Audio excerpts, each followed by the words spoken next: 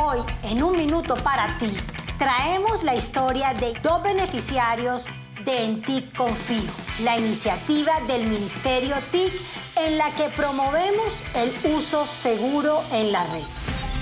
En Ti Confío llegó una institución en donde brindaron charlas educativas virtuales de cómo usar las TIC correctamente. Gracias a estas estrategias puedo navegar y utilizar las TIC de una manera más segura y responsable. Me enteré en TIC Confío a través de la difusión de los docentes de mi institución educativa Pedro Antonio Molina, por medio de las redes sociales. El consejo que le doy a los niños, niñas y adolescentes para el uso de la internet y las redes sociales es estar bajo la supervisión de nuestros padres y a nuestros jóvenes que controlen el manejo de las redes sociales en ofrecimientos falsos.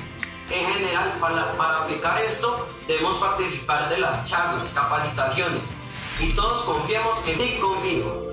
Y quiero contarles que ya llegamos al millón de beneficiarios de En Ti Confío. Además, lanzamos la Academia de Líderes, un nuevo espacio de formación para motivar e impulsar el activismo digital. ¿Qué esperas para inscribirte?